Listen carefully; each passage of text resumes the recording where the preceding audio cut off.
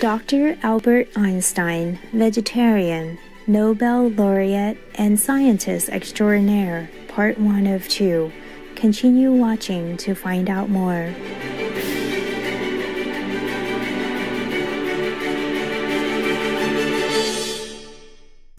Sehen Sie nun den ersten Teil unserer zweiteiligen Reihe Dr. Albert Einstein, Nobelpreisträger und Wissenschaftler der Extraklasse. Alle Religionen, Künste und Wissenschaften sind Äste des gleichen Baumes. Alle diese Bestrebungen sind darauf gerichtet, das menschliche Leben zu veredeln, es aus der Sphäre eines bloßen physischen Daseins herauszuheben und das Individuum zur inneren Befreiung zu führen. Dr. Albert Einstein.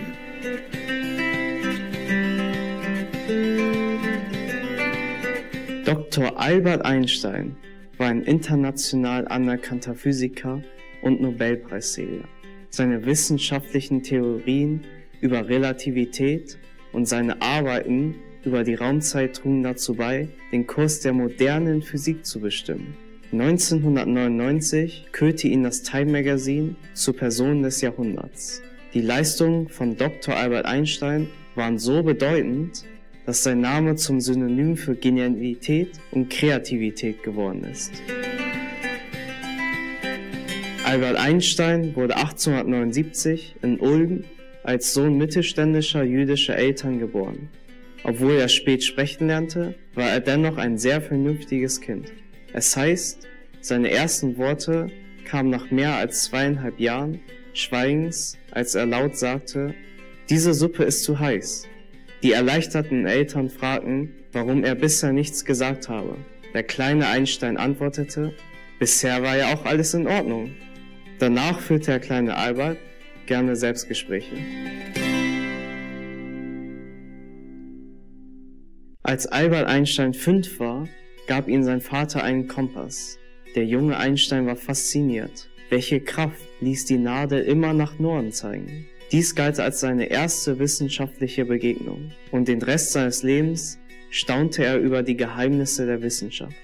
Wie er einmal sagte, das Schönste und Tiefste, was der Mensch erleben kann, ist das Gefühl des Geheimnisvollen. In seiner Schulzeit hatte Albert Einstein Schwierigkeiten, sich an den starren Stil des Schulsystems anzupassen. Er mochte die strengen Regeln nicht und war der Meinung, dass sie kein kreatives und unabhängiges Denken zuließen. Er sagte, ich wollte lernen, was ich wissen wollte, aber sie wollten, dass ich für die Prüfung lerne.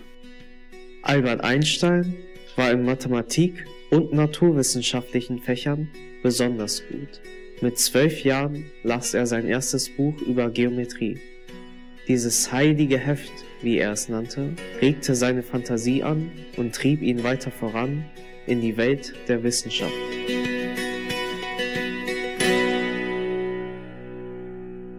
Er sagte einmal, die reine Mathematik ist auf ihre Art die Poesie logischer Gedanken. Er begann außerhalb der Schule zu lernen und brachte sich selbst Geometrie und Algebra bei. Er vertiefte sich auch in die Werke verschiedener Philosophen, darunter Charles Darwin. Schließlich schrieb er mit 16 Jahren seine erste wissenschaftliche Arbeit. Albert Einstein spielte auch hervorragend Geige und sagte später, wenn ich nicht Physiker wäre, wäre ich vermutlich Musiker. Ich denke oft in Musik. Ich lebe meine Tagträume in Musik. Ich sehe mein Leben in Bezug auf Musik. Ich habe die meiste Freude am Leben mit Musik. Einer der wichtigsten Mentoren des jungen Einstein war Max Thalmey, ein Medizinstudent, der ihn jede Woche besuchte. Max Thalmey erkannte schnell Albert Einsteins herausragende Intelligenz und brachte ihm Bücher über Mathematik, Philosophie und Wissenschaft. Themen, über die sie stundenlang diskutierten. Albert Einstein sagte später, Auf diese Weise lernst du am meisten, wenn du etwas mit so viel Freude tust, dass du nicht bemerkst, wie die Zeit vergeht. Als Albert Einstein 15 Jahre alt war, zog seine Familie nach Italien. Sein Vater hatte zwar gehofft, dass der junge Einstein eines Tages Maschinenbauingenieur werden würde. Aber Einstein widmete sich der Physik. Etwa zu dieser Zeit gab Einstein, der nicht eingezogen werden wollte, seine deutsche Staatsbürgerschaft auf und war fünf Jahre lang staatenlos. Dann winkte die Schweiz. Er wurde an der Eidgenössischen Technischen Hochschule Zürich, ETH Zürich, aufgenommen, wo er ein Jahr jünger war als die meisten seiner Kommilitonen. Im Jahr 1901 wurde er Schweizer Staatsbürger und im folgenden Jahr heiratete er seine Physikerkollegin und Geliebte Mileva Marik. Das Paar bekam drei Kinder, bevor es sich 1914 trennte. 1919 heiratete Albert Einstein Asa Einstein, mit der er liebevoll zwei Stieftöchter aufzog.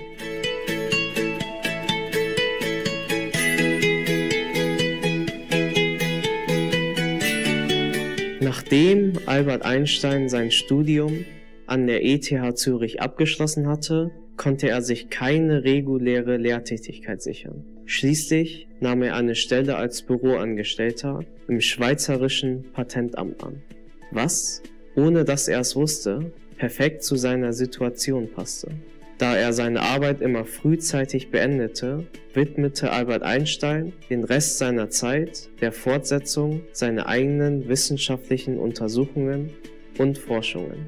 Entsprechend seiner Denkweise, die Menschen brauchen Beschäftigung, wenn sie keine haben, werden sie sich eine suchen, arbeitete Einstein die nächsten drei Jahre ununterbrochen. Er sagte, ein Genie besteht zu 1% aus Talent und zu 99% aus harter Arbeit. Einstein hatte große Träume und er war bereit, große Anstrengungen zu unternehmen, um sie zu erfüllen. Seine Ziele verwirklichten sich sehr schnell. Seine erste wissenschaftliche Arbeit erschien 1900. Fünf Jahre später schloss er seine Doktorarbeit Eine neue Bestimmung der Moleküldimensionen ab.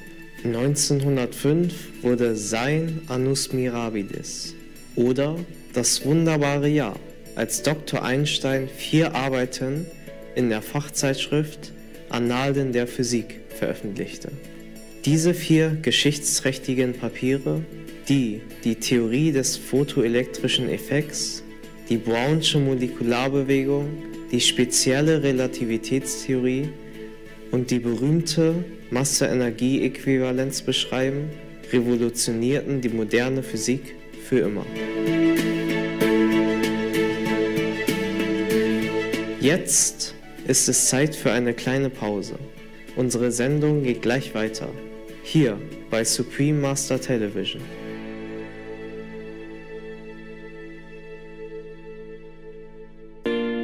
Fantasie ist wichtiger als Wissen. Wissen ist begrenzt. Fantasie aber umfasst die ganze Welt. Dr. Albert Einstein. Willkommen zurück zu Dr. Albert Einstein, Vegetarier, Nobelpreisträger und Wissenschaftler der Extraklasse. Teil 1 von 2. Dr. Albert Einsteins Abhandlung von 1905 über den photoelektrischen Effekt, für die er später den Nobelpreis für Physik erhielt, war in der Tat revolutionär. Er zeigte auf, dass beim Auftreffen von Licht auf ein Objekt eine Emission von Elektronen stattfindet, die einen Strom hervorrufen und Elektrizität erzeugen. Seine Entdeckung der Photonen, die sich aus Licht und diskreten Quantenteilchen zusammensetzen, stellte die vorherrschende elektromagnetische Lichttheorie der theoretischen Physik des 19. Jahrhunderts in Frage. Einsteins Quantentheorie des Lichts ist die Grundlage der Quantenphysik. Dr. Einsteins Theorie der speziellen Relativitätstheorie, die darlegte, wie Raum und Zeit für Objekte, die sich mit konstanter Geschwindigkeit in einer geraden Linie bewegen, miteinander verbunden sind wurde zehn Jahre später mit seiner allgemeinen Relativitätstheorie fortgesetzt. Mit dieser Theorie stellte Dr. Einstein fest, dass massive Objekte, die eine Verzerrung in der Raumzeit verursachen, was als Schwerkraft betrachtet wird, das Ergebnis einer Krümmung der Raumzeit aufgrund der Anwesenheit von Materie, Energie, Schwerkraft und Impuls sind. Nicht lange danach, während einer Sonnenfinsternis am 29. Mai 1919 bestätigte der britische Astronom und Physiker Sir Arthur Eddington Dr. Einsteins Theorie, dass die Schwerkraft der Sonne das Licht eines anderen Sterns tatsächlich krümmt. Dies besiegelte den internationalen Ruhm Albert Einsteins als führender Physiker.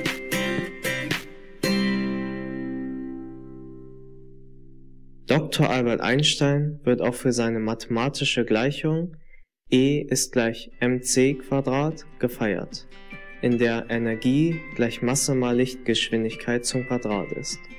Dies ist die Formel, die Einsteins Relativitätstheorie zusammenfasste, eine Theorie, die ihm den Nobelpreis einbrachte. Einstein nahm die Masse, also das Atomgewicht einer Substanz und die Lichtgeschwindigkeit, die konstant ist, und drückte deren Beziehung zur Energie in dieser einfachen Gleichung aus. E gleich m mal c Quadrat. Dr. Albert Einstein betonte nicht nur wissenschaftliche und technologische Entwicklungen, sondern auch die Bedeutung einer höheren Moral.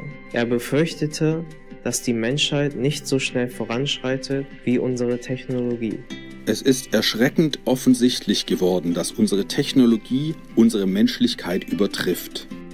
Er erinnerte daran, dass hohe moralische Normen an die Stelle von greifbaren Fortschritten treten sollten.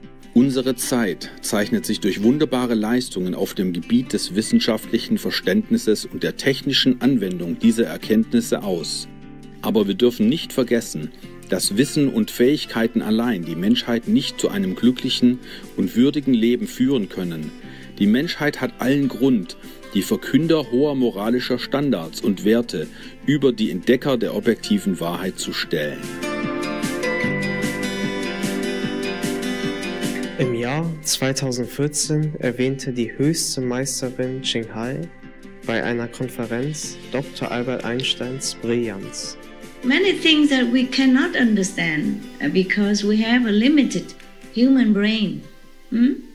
Human mind is not uh, capable of understanding all the things in the universe. Okay? Yes, Master. When Einstein was alive, he, he has many things to tell human, but not many people understand it. They do understand intellectually, but uh, they could not really realize it.